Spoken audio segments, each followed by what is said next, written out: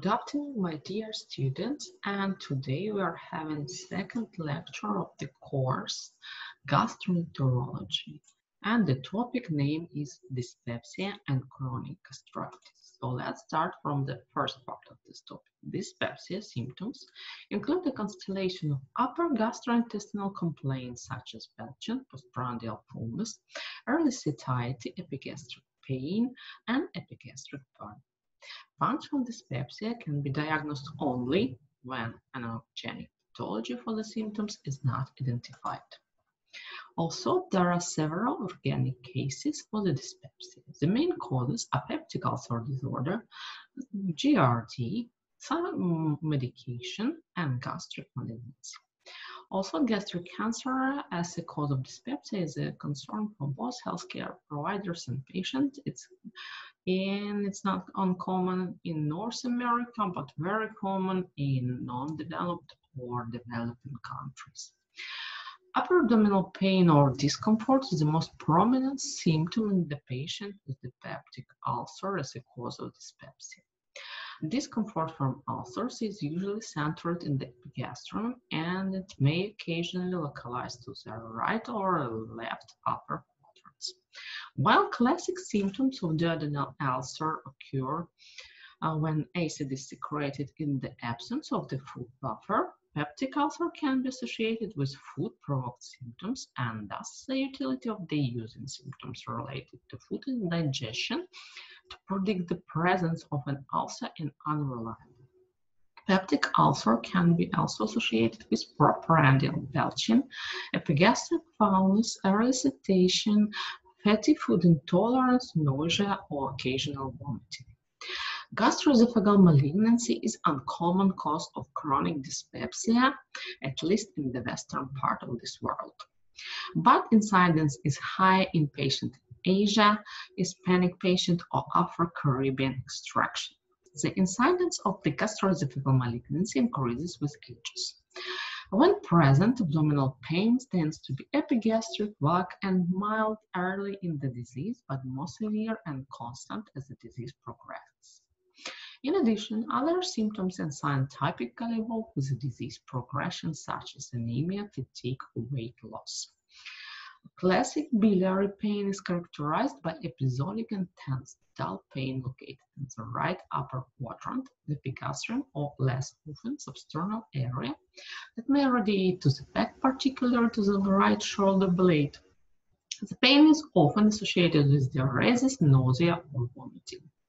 The pain is constant and not colicky. It's not exacerbated by movement and not relieved by squeaking, belching, bowel movements, or passage of flatus. The pain typically lasts at least three, 30 minutes, plating within an hour. The pain then starts to subside. With an entire attack usually lasting less than six hours drug-induced dyspepsia. Some medications as non-steroidal anti-inflammatory drugs or type, particularly COX-2 selective inhibitors can cause dyspepsia even in the absence of the peptic ulcer disease. Other drugs that have been implicated in drug-induced dyspepsia include calcium channel blockers, potassium supplements, vitamin D overdoses, iron uh, supplements, um, selective serotonin reuptake inhibitors, and others, including certain antibiotics, for example, erythromycin.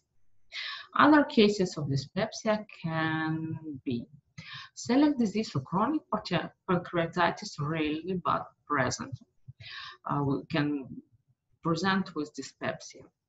Uh, other uh, rare cases of dyspepsia include infiltrative disease of the stomach, for example, eosinophilic gastroenteritis, diabetic radiculopathy, met metabolic disturbances as hypercalcemia, hepatomas, steatohepatitis, and others.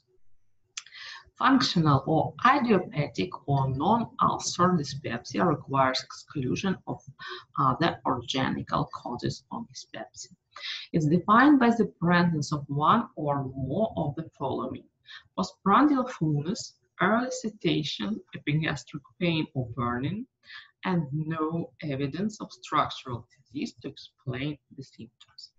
The pathophysiology diagnosis and management of functional uh, dyspepsia will be discussed later separately from the origin. Functional dyspepsia is defined by the Rome 4 criteria and classified into proprandial distress syndrome and epigastric pain syndrome. Functional dyspepsia diagnosis can be uh, made in case if presence of more than one symptom of proprandial fullness, early satiety, epigastric pain, or epigastric burning, and no evidence of structural disease. In one third uh, part of the cases, uh, functional dyspepsia can be represented only by postprandial syndrome or early satiety uh, syndrome uh, uh, more than three days a week for the three past months and onset that more than six months before diagnosis. Usual symptoms are early satiety, bloating, nausea, vomiting, retching, or decreased appetite. In other one sort uh, part of the cases of functional dyspepsia can be represented only by epigastric pain syndrome, which includes epigastric pain or uh, and burning more than one day a week for the past three months and with onset more than six months before diagnosis. Usual symptoms, according to the name of this syndrome, epigastric pain or epigastric burning or both together. And the left to around one seventh of all cases of functional dyspepsia will be represented by combination of postprandial distress syndrome and epigastric pain syndrome. Etiology of functional dyspepsia include gastric neuromuscular dysfunction, uh, psych psychological distress, duodenal acid exposure, motility, and inflammation. Gastric neuromuscular dysfunction, including delayed hepatic emptying, impaired gastrofundus relaxation with blunting of postprandial accommodation, and altered gastric mecha mechanosensitivity has been of particular interest in this area. Psychological uh, distress usually associated with dyspepsia, with research, uh, but research showing both that distress and anxiety can precede symptoms, and that symptoms can induce distress and anxiety. Thus, a bidirectional guided gut-brain pathway mechanism has been proposed. Duodenal acid exposure exposure. This is a preliminary evidence concerning the presence of increased postprandial duodenal acid exposure and functional dyspepsia patients with prominent nausea symptoms. In addition, duodenal motility and bolus clearance impairment have been induced by instilling acid into the duodenum, raising concern that duodenal acid driving its a drying pathology may contribute to dyspepsia symptoms in a subset of the patients. There is growing evidence regarding the role of duodenal inflammation and duodenal eosinophilia in the uh, functional dyspepsia etiology. Alarm uh, features uh, each patient with uh, dyspepsia also the uh, there, there is a rule for other gastrointestinal pathologies such as GERD, peptic ulcer disorder. Uh, if patient has these symptoms, patients should be uh, more precisely observed and diagnosed to exclude life-changing or life-threatening disorder as cancer, uh, for example, or other severe disorders. These alarm features are unintentional weight loss for past three months, new or progressive dysphagia, odynophagia, persistent vomiting, unexplained iron deficiency anemia, palpable mass or lymphadenopathy, uh, particularly in abdomen, but lymphadenopathy or these masses can be present in other locations and due to metastasis of these tumors uh, can lead to gastrointestinal disorders and the appearance of the symptoms of gastrointestinal disorders pathology. Family history of upper gastrointestinal malignancy, as we talk about uh, our today's topic, and childhood spent in a country with the high risk for gastrointestinal malignancy. Diagnostic evaluation of functional dyspepsia. By definition, functional dyspepsia is diagnosed in the absence of an organic pathology for the dyspepsia symptoms. As outlined previously, patients with functional dyspepsia report a range of symptoms that can vary greatly in severity, and symptoms are not reliable way to differentiate organic from functional dyspepsia.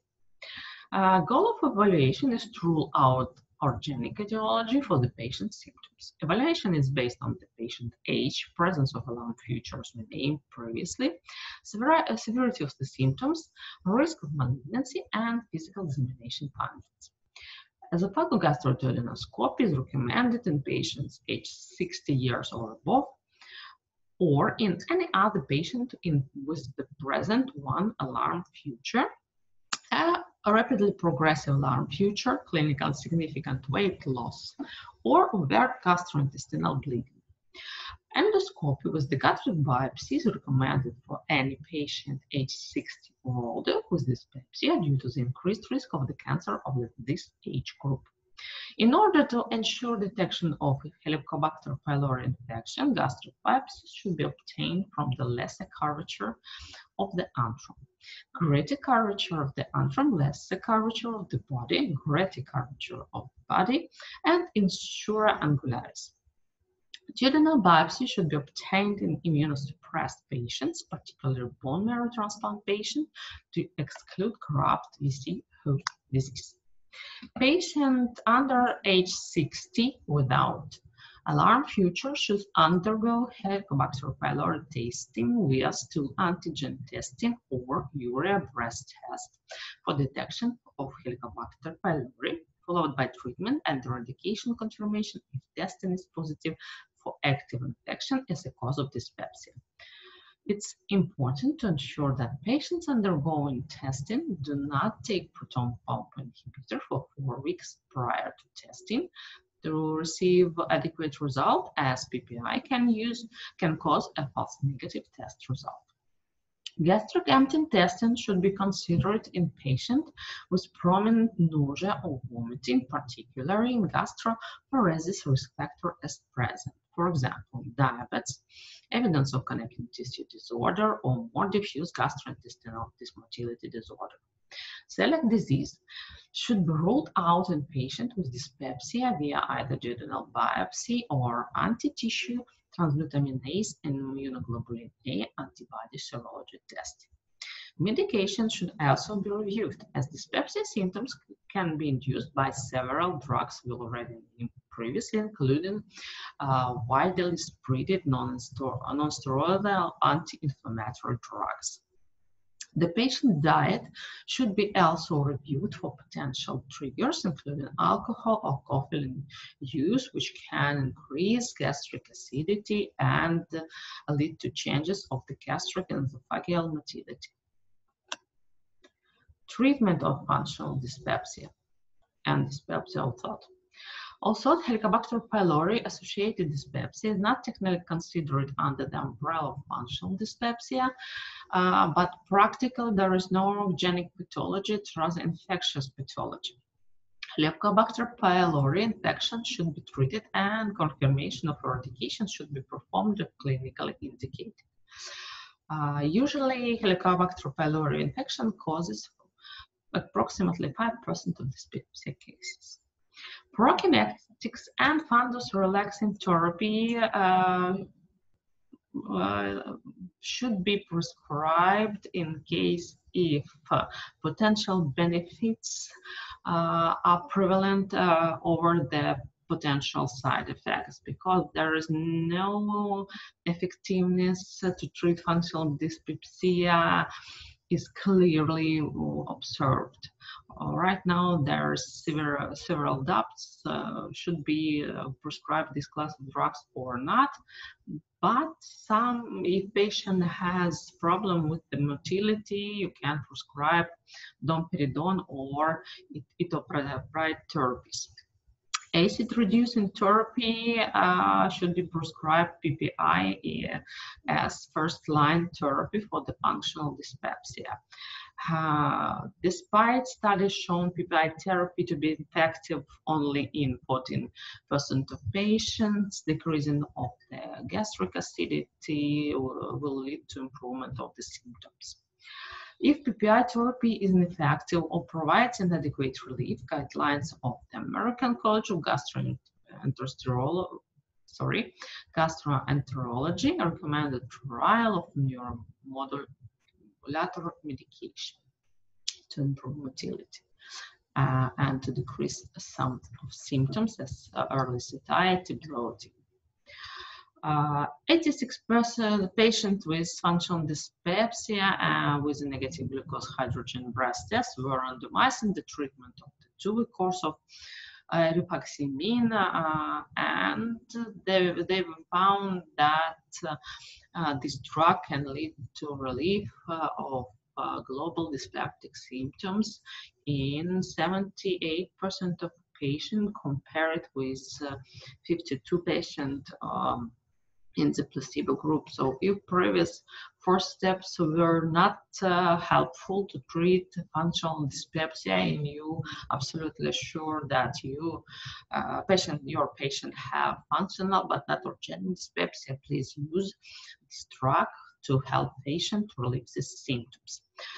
Uh, also, psychological therapies and treatment of the functional dyspepsia uh, showed a great improvement in dyspepsia-related symptom comparing with a combination therapy group and you should always think about this type of therapy to help patient uh, to reach improvement uh, if drug, especially if drug therapy uh, were not effective, or maybe in some type of patients with uh, neurological problems, neurosis, or chronic uh, pain patient, uh, rather psychological therapy in absence of Helicobacter pylori infection uh, will be more effective than acid reducing or neuromodulator therapy. Uh, next slide will show you actually treatment algorithm of the functional dyspepsia. So if uh, actually you treat your patient with, uh, you tested your patient and you know that patient has no Helicobacter pylori is possible, a cause of dyspepsia, so please consider four-week trial of moderate dosage of proton pump inhibitors. In case of poor response, consider herbal or neuromodulator therapy. In case if this therapy is still not working and doesn't bring relief, a prokinetic or fundus relaxation agent should be helpful. Uh, if patient test, uh, was tested on Helicobacter pylori and result is positive, please prescribe treatment for indication of Helicobacter pylori infection as a cause of functional dyspepsia. The same uh, similar argument to uh, uh, that can help you actually um, to treat your patient um, as good as it possibly can. So dyspepsia, uh, before treat dyspepsia with actually medication and refer patient to any uh, uh, physician or specialist, site specialist. Uh, if patient has no actual around symptoms, you should don't forget first to review his medication, maybe they are a cause of dyspepsia. Uh, the next step should be lifestyle modification, including healthy eating, weight reduction, smoking cessation, diet if needed, uh, plus promoting the use of antacids, alginates, continued therapy. If there is a response, let patient to uh, continue your advices and check him in several times, uh, two or four weeks. If there is no response, please start treatment with PPI uh, in full dosages for around a month.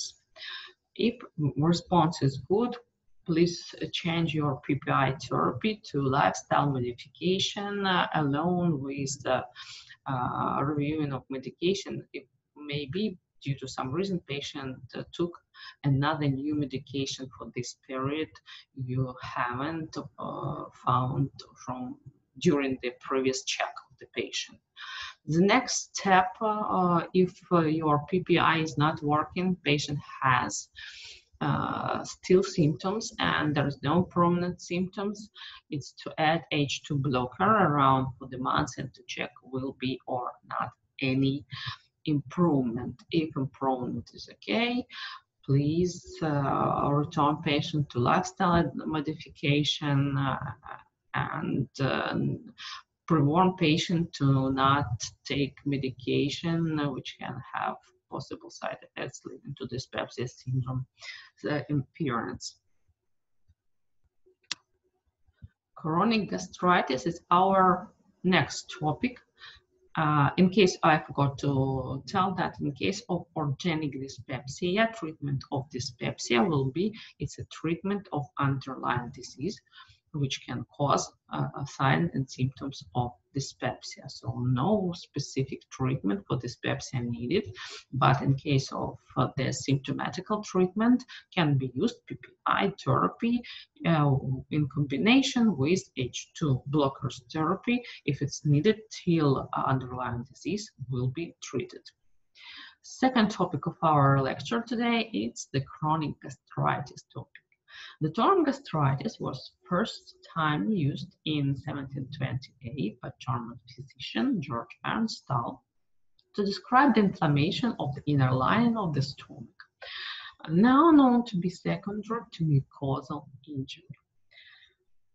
In the past, many considered gastritis are useful histological findings, but not the disease. This all changed with the discovery of Helicobacter pylori by Robert Warren and Barry Marshall in 1982, leading to the identification, description, and classification of multitude of different gastritis types. Usually we use the Sydney system for classification of gastritis.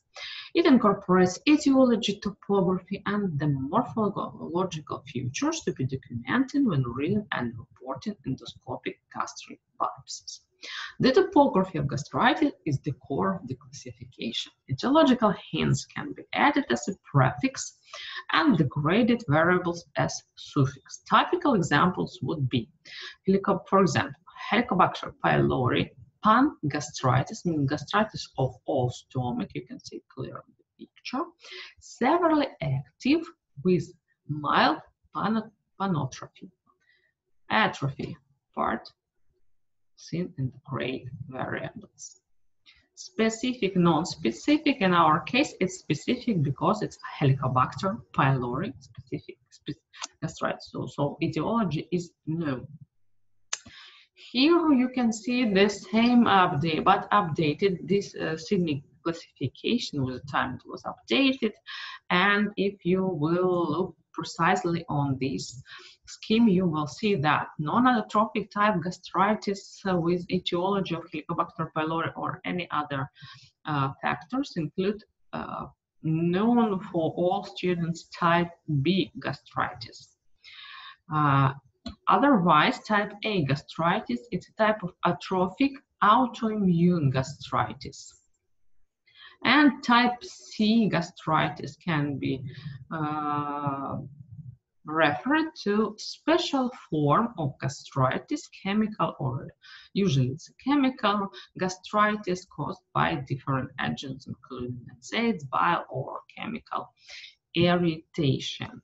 By the scheme, diagnosis can be made as chronic uh, for atrophic autoimmune gastritis, for example, type A, or uh, special form, uh, it will be chronic chemical and NSAID-induced reflux gastritis, or type C gastritis, or a chronic eosinophilic uh, allergic uh, isolated granulomatous, for example, gastritis or allergic gastritis, or chronic or acute infectious gastritis caused by, um, let it be fungal gastritis.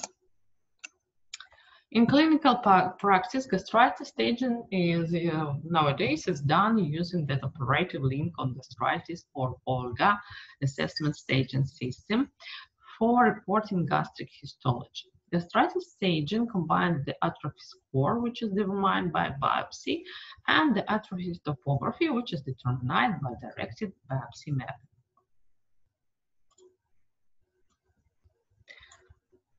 Helicobacter pylori is the leading cause of chronic gastritis, peptic ulcer disease, gastric adenocarcinoma, and primary gastritic lymphoma.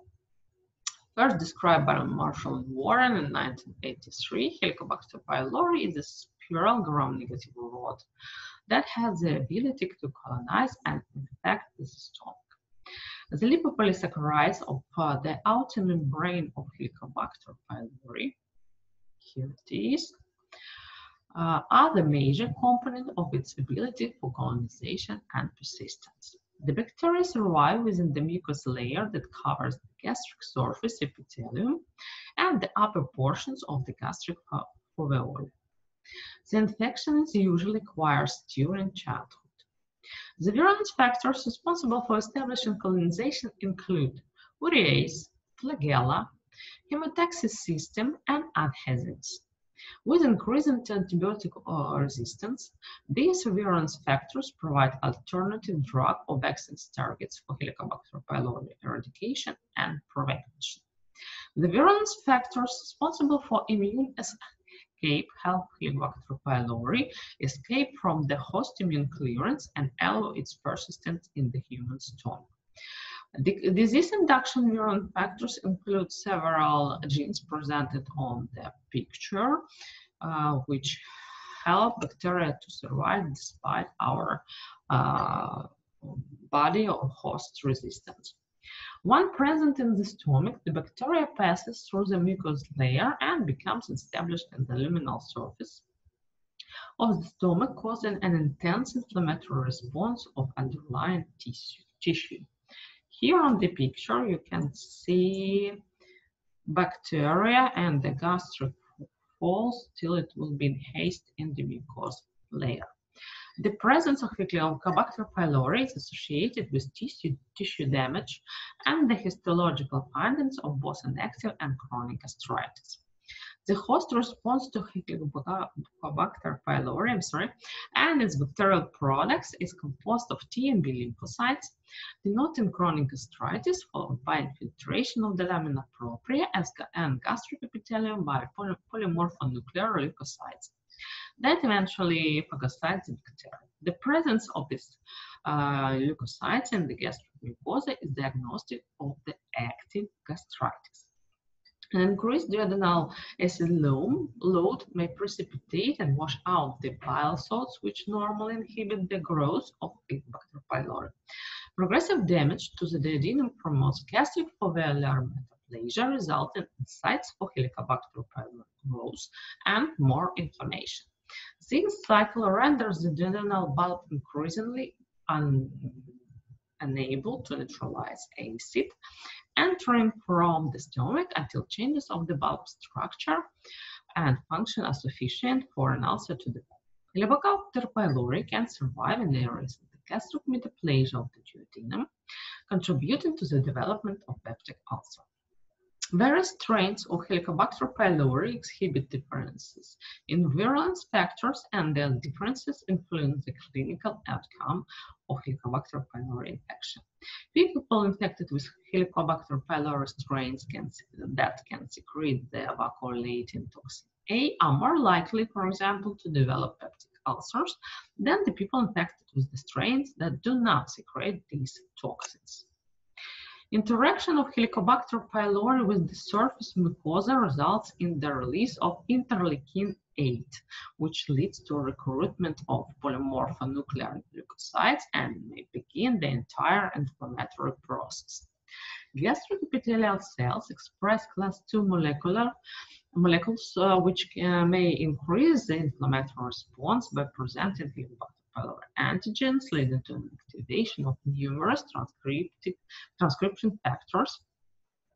This is uh, turn leads to further cytokine release and more inflammation with high level of cytokines, particularly tumor necrosis factors and multiple interleukins. Uh, they are pro-inflammatory interleukins and detected in the gastric mucosa of the patient with Helicobacter pylori gastritis.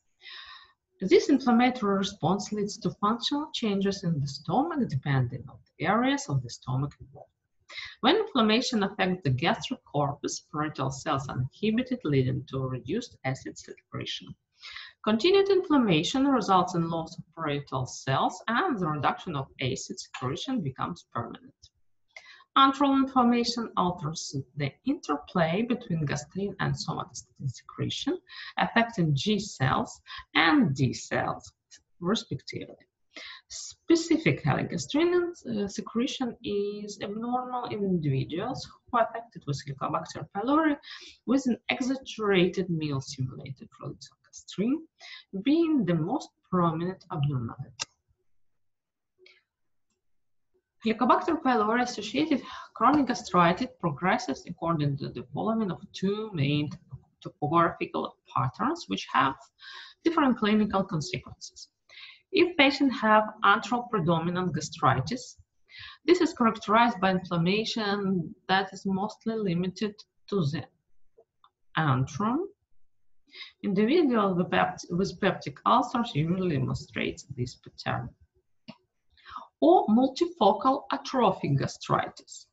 This uh, type uh, of gastritis characterized by the involvement of the corpus and gastric antrum with the progressive development of gastric atrophy, I'm sorry, loss of the gastric glands and parietal replacement of the gastric glands by intestinal type epithelium or intestinal metaplasia. In other words, individuals who develop gastric carcinoma and gastric ulcers usually demonstrate this pattern.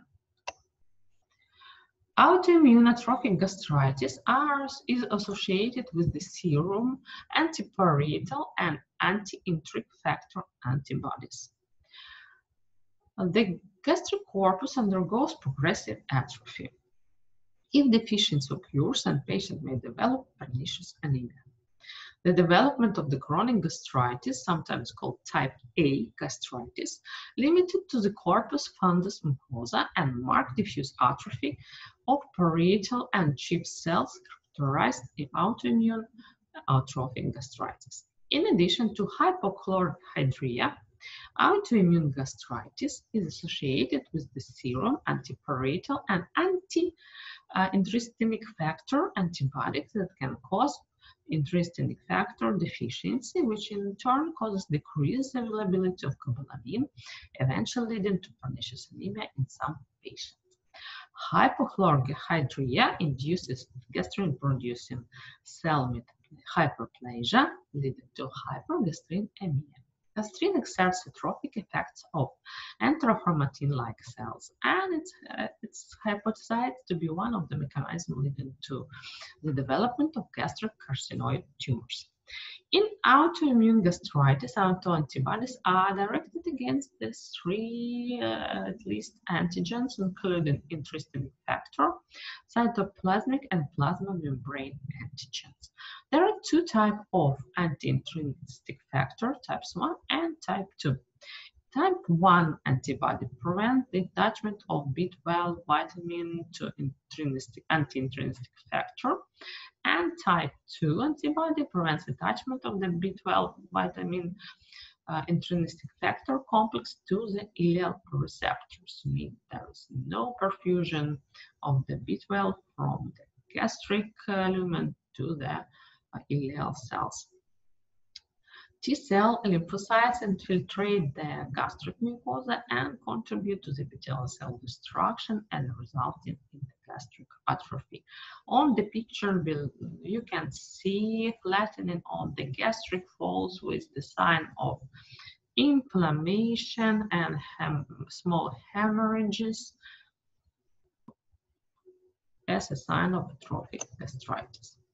Granulomatous gastritis is a rare entity. Causes can be divided into infectional diseases, non-infectious diseases, and idiopathic, which are observed in approximately 25% of cases. Tuberculosis may affect the stomach and cause caseating granulomas.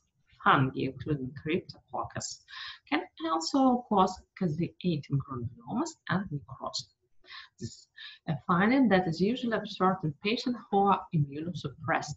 Granulomatous gastritis has also been associated with Helicobacter pylori. A granuloma present on picture is organized aggregation of combined lymphocytic, histiocytic, and plasmatic infiltrates, granulomatous inflammation. When this organized collection of the cells is defined in the stomach, is referred to as granulomatous gastritis. Granulomatous gastritis is a type of chronic gastritis and can be subclassified based on the etiology into infectious, non-infectious, and idiopathic. Non-infectious diseases are the usual cause of gastric granulomas.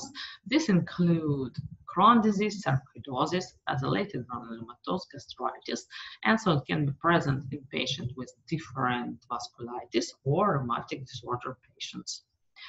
Granulomas have also been described in association with the gastric malignancies, including carcinoma and malignant lymphoma. Sarcoid-like granulomas may be observed in people who use cocaine and foreign material is occasionally observed in granulomas too. So as you can see on the picture in the center presented inflammation and different type of granuloma it will differ surrounded by the inflammatory cell and sometimes surrounded by uh, connective tissue cell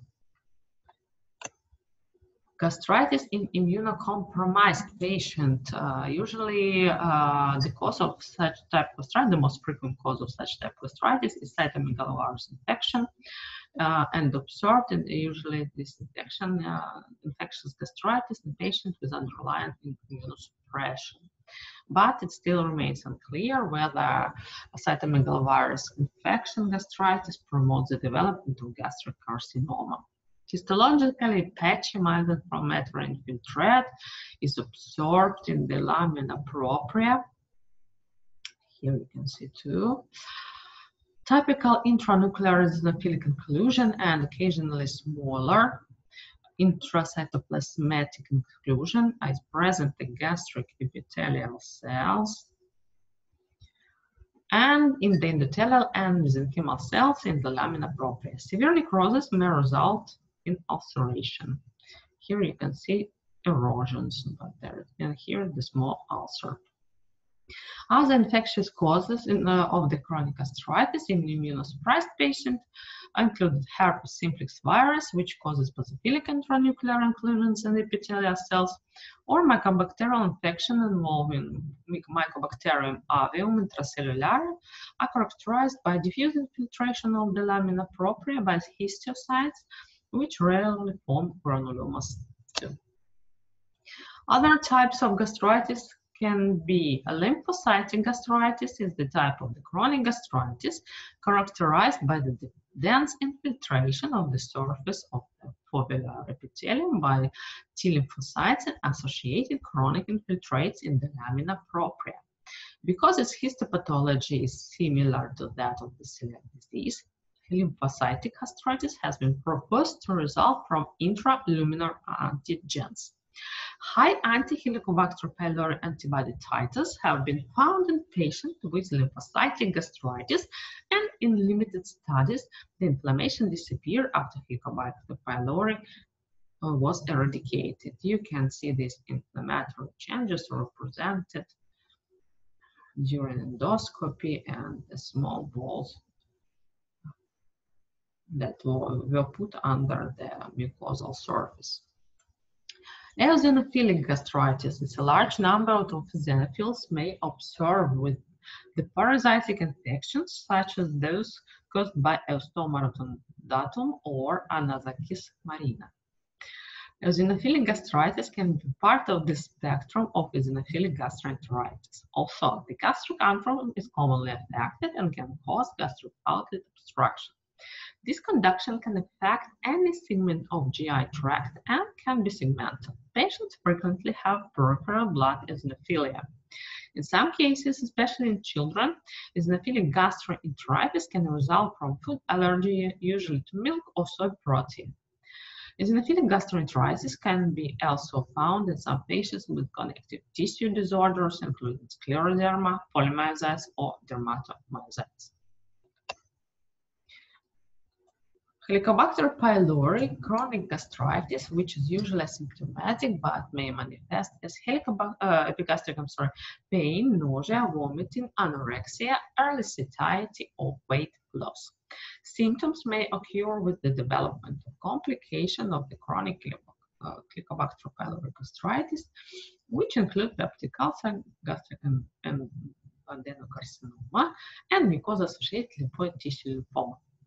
The clinical manifestation of autoimmune gastritis is primarily related to the deficiency of cobalamin, which is not adequately absorbed because of intrinsic factor deficiency resulting from severe gastric parietal cell atrophy. The disease has an insidious onset and progresses slowly. Cobalamin deficiency affects the hematologic and gastrointestinal and neurological systems.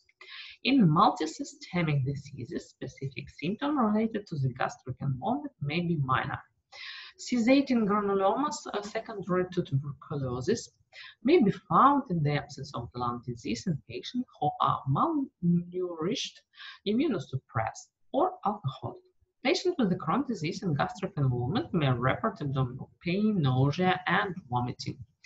Gastric involvement in Crohn's disease is almost invariably associated with the intestinal disease and as intestinal manifestation predominant. The usual signs and symptoms of the chronic gastritis include heaviness, belching, vomiting, flatulence, bloating, and pain, which should be, which should be differentiated from other gastrointestinal pathology with the similar symptomatics. Oh, I'm sorry physical examination of the patient of the, uh, with the chronic gastritis in complicated Helicobacter pylori associated atrophic gastritis. Clinical findings are few and non-specific. Epigastric tenderness may exist. If gastric ulcers coexist, guaiac-positive stool may result from occult blood loss. Bad breath or smelly breath and abdominal pain or discomfort may occur with the bloating associated with bacterial overgrowth syndrome. Physical findings may result from the development of the pernicious anemia and neurological complications in patients with autoimmune atrophic gastritis. With severe cobalamin deficiency, the patient is pale and slightly icteric skin and eyes. The pulse is rapid and the heart may be enlarged auscultation usually reveals the systolic flow view murmur. As we don't have ability due to this pandemic to show you real patients, no, at least on the current moment, I'm proposing you to see uh, actually very good presentation video how to physically examine the patient with gastrointestinal pathology. During this video, it's clearly explained and showed how it should be done. So let's start. It's a very short video, but very informative.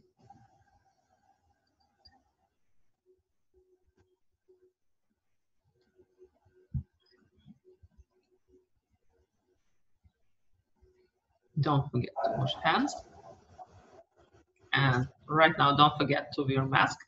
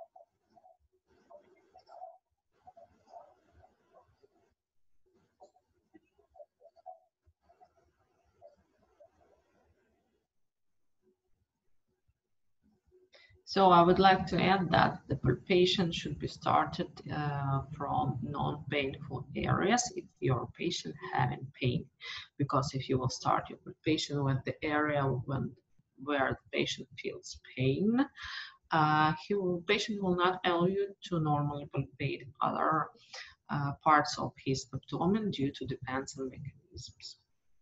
And if you wanted to observe abdominal aorta, uh, you should remember that in uh, obese patient, it's uh, or hypersthenic patient, sometimes it's absolutely impossible. So only auscultation we have for observation of abdominal aorta or imagining studies.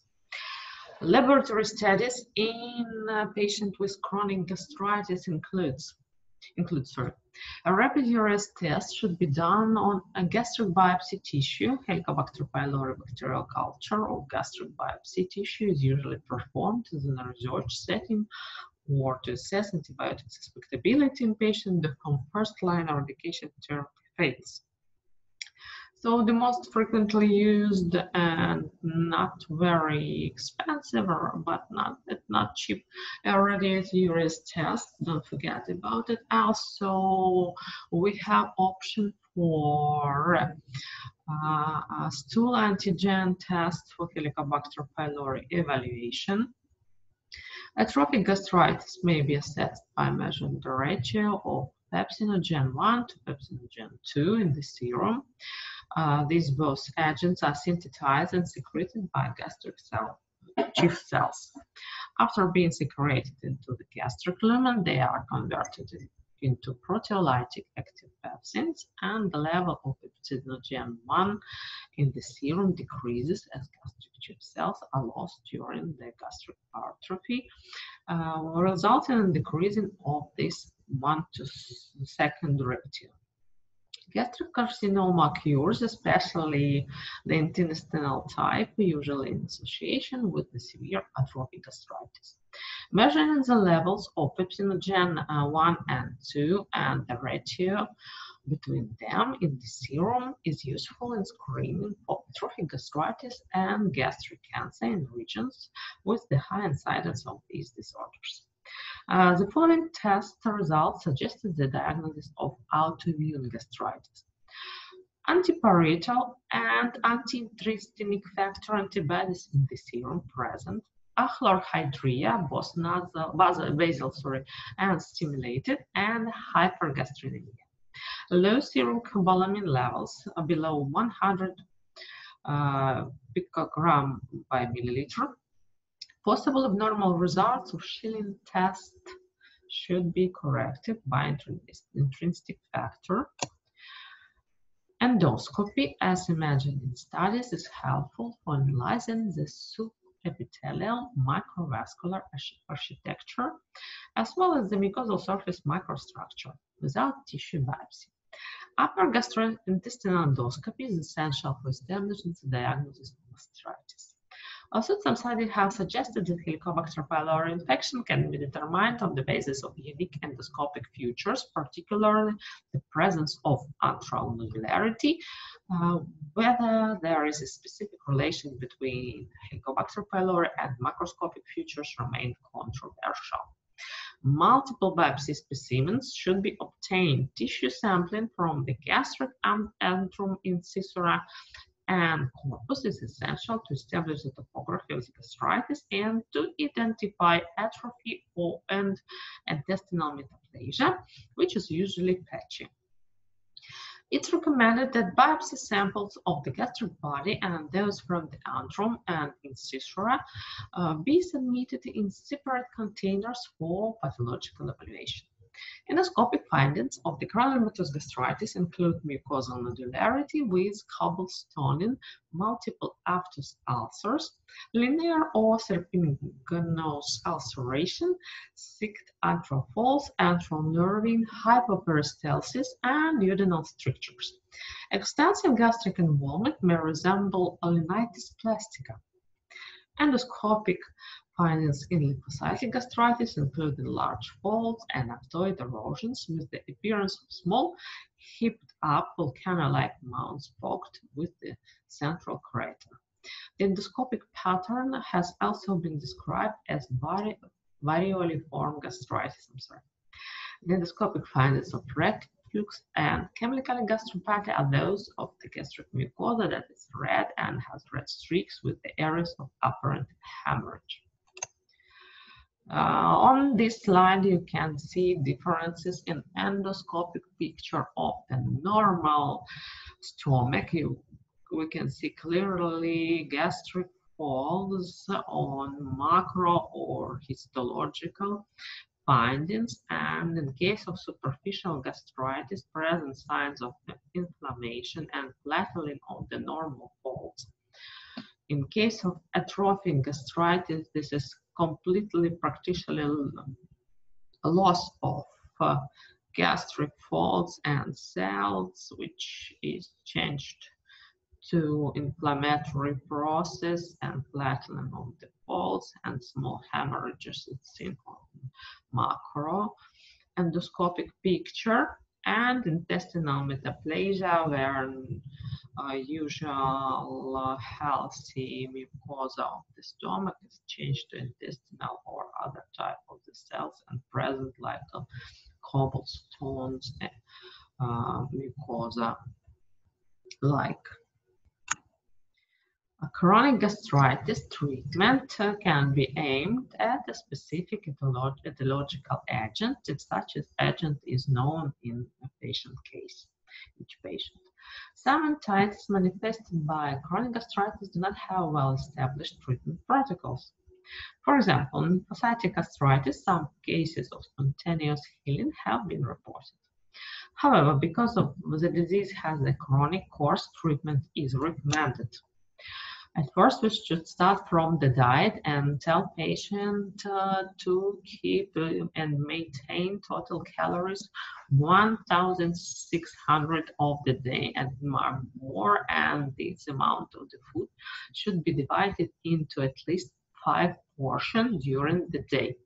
Patients should avoid food that lead to increasing of secretion of gastric contain of the stomach juice included. Or for, for example yes is different citrus fruits tomatoes milk alcohol smoking coffee spicy foods and patients should prefer known as healthy food means uh, multiple veggies with probiotic food, fish instead of their actually fatty meat, uh, and high, high fiber foods for relief in symptoms and improvement of the digestion. Pharmacotherapy for Helicobacter pylori, first specific recommendation for Helicobacter pylori eradication are usually limited to peptic ulcer disease, but now if you uh, established already the etiology of Helicobacter pylori for your patient with chronic gastritis, pharmacotherapy should be prescribed. Antibiotics that have proven effectiveness against Helicobacter pylori include clarithromycin, amoxicillin, metronidazole, tetracycline, and furazolidone. One is a version of the traditional bismuth metronidazole tetracycline triple therapy, in which three different combinations using clarithromycin have been approved, including two dual therapies consisting of 500 milligrams of clarithromycin three times daily, plus either omeprazole or ranitidine bismuth citrate. The cure rates reported in the packaging literature suggest that the three combinations are similarly effective. Clinical experience has experience has shown that the most effective of these regimens is BMT triple therapy followed by ranitidine bismuth citrate plus clarithromycin and then by plus clarithromycin. Evaluator, uh, this uh, therapy is presented with the dosage, dosages presented uh, actually on the slide, and I suggest you to, to memorize them and because the similar therapy will be used for treatment. Uh, peptic ulcer disease with the etiology of, Helicobacter pylori and the similar will be uh, used for treatment Helicobacter pylori as a cause of dyspepsia. Evaluate eradication at least four weeks after the beginning of the treatment. Eradication may be assessed by means of non-invasive methods such as urea breath test or stool antigen test, which is uh, cheaper and more specific compared with urea breath test, more sensitive. say. Follow-up may be individualized depending on dependent during endoscopy and severity of disorder. Atrophic gastritis treatment. One diagnosis is established, treatment can be directed to elimination of causal agents, which is possibly in cases uh, of the Helicobacter pylori associated atrophic gastritis, to correct complication of the disease, especially in patients with autoimmune atrophic gastritis who develop pernicious anemia uh, with the replacement of B12 deficiency, to attempt uh, to reverse the atrophic process.